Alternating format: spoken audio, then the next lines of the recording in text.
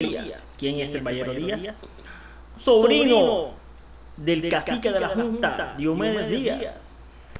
Este señor genera mucha controversia por su voz, por su carisma y por su forma de querer imitar el cacique de la Junta. Aunque en algunas entrevistas él ha afirmado que él no se quiere parecer a su tío Diomedes, pero miren cómo actúa el Ballero Díaz.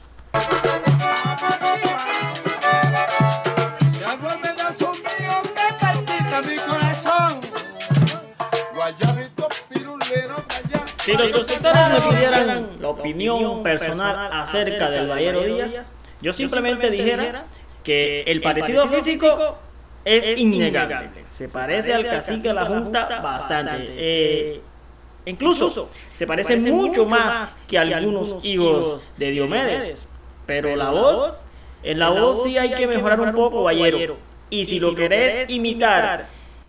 pues, pues no está de más recordarte que algunos artistas vallenatos e incluso algunos hijos de Diomedes no han surgido, no han salido adelante por querer imitar a su padre. Recordemos que el cacique de la Junta fue único, no tenía comparación. y muy difícilmente tendrá quien lo reemplace. Hay otras personas que piensan que este, este señor simplemente lo que es un payaso que quiere llamar la atención y que no sabe cómo ganar un cuarto de fama imitando a su tío Diomedes. Cuando el ballero canta la gente dice que